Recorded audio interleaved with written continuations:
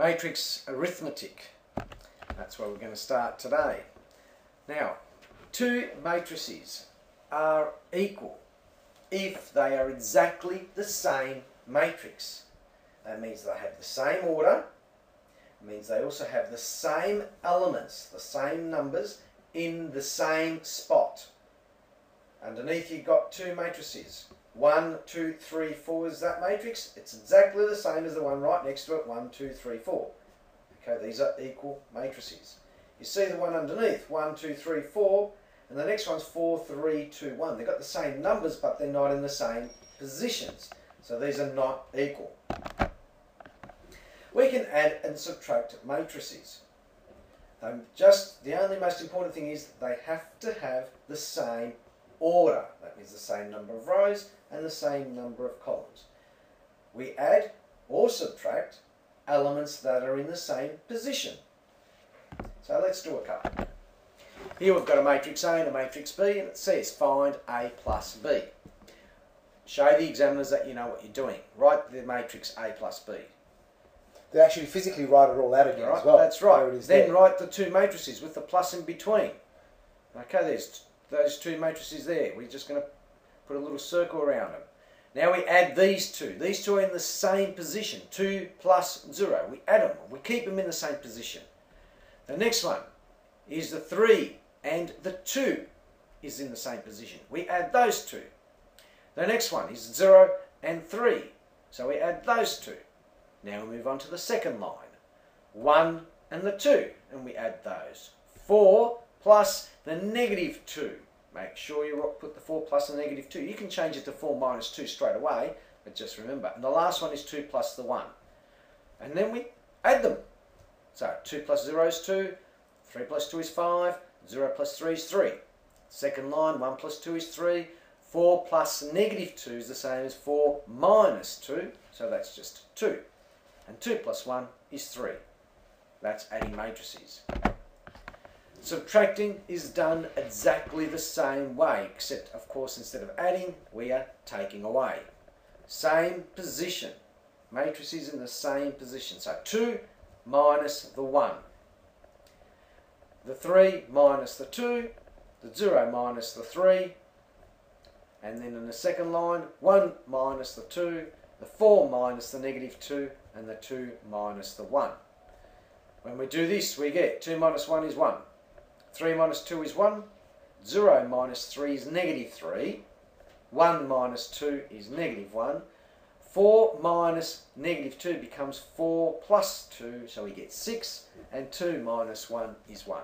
So that's how we subtract matrices. Multiplying matrices by a scalar, a scalar is just a number. We have to times everything inside the matrix by that number. But how do we write it? We write it like this. Here we've got this example. A is this matrix, C is this other matrix. We have to find 3A and we have to find 0.5C. Let's do the 3A first. 3 times A, matrix A was 2, 3, 0, 1, 4, 2, and we're going to times everything in there by the number 3. You don't have to show this line of the working out. Okay, so you don't have to show 3 times 2 like we have here, or 3 times 3, or 3 times the 0, or even the Well, second you just got to look at it and multiply them by three anyway. That's right, just times all the numbers by 3. So when you times all the numbers by 3, first line you get 6, 3 times 3 is 9 for the second number, 3 times 0 is 0. The second one, 3 times 1 is 3, 3 times 4 is 12, 3 times 2 is 6. The other one we had to do was 0.5c. 0.5c. It's half, of it, half every number. half every number. C is 4, negative 4, negative 2, 6. Half of 4, 2. Half of negative 4, negative 2. Half of negative 2, negative 1. Half of 6, 3. Very easy to do. Sometimes doing things on your calculator takes longer. The zero matrix. A zero matrix is a matrix which we classify as the zero where all the letters, all those elements are zeros. That's all it is. All the letters are zeros.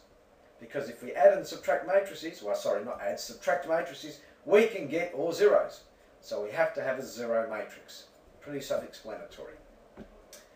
It can be anyone. All right, here, zero matrix. It says G is this, H is this, show that 3 times G minus 2 times H equals 0. BODMAS is important here. You don't take away the matrices, you have to do the 3 times the G first. So you've got to show all working out as well. So this is showing the working Yep. out. Yeah. And then Minus minus two. 2 times the H. So when we do 3 times the first one, we get 3 sixes are 18. 3 zeros, three, uh, 0. 3 times negative 4, negative 12. 3 times a 2 is 6.